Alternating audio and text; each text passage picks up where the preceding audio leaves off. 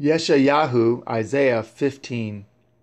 The burden of Moab, because in the night Ar of Moab is laid waste and brought to silence, because in the night Kir of Moab is laid waste and brought to silence. He is gone up to Beith and to Divan, the high places, to weep. Moab shall howl over Nevu and over Me Diva. On all their heads shall be baldness, and every beard cut off. In their streets they shall gird themselves with sackcloth, on the tops of their houses and in their streets. Every one shall howl, weeping abundantly.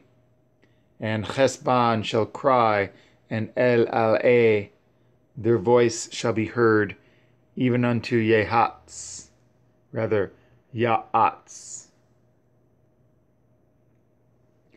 Therefore the armed soldiers of Moab shall cry out, his life shall be grievous unto him.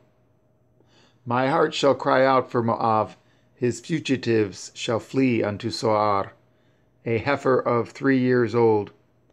For by the mounting up of Luchith with weeping shall they go up it, rather go, shall they go it up. For in the way of Charanim they shall raise up a cry of destruction. For the waters of Nimrim shall be desolate. For the hay is withered away. The grass fails.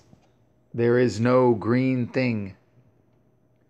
Therefore the abundance they have gotten and that which they have laid up shall they carry away to the brook of the willows. For the cry is gone round about at the borders of Moab, the howling thereof unto Eglaim, and the howling thereof unto Beer Elim. For the waters of Diman shall be full of blood, for I will bring more upon Diman,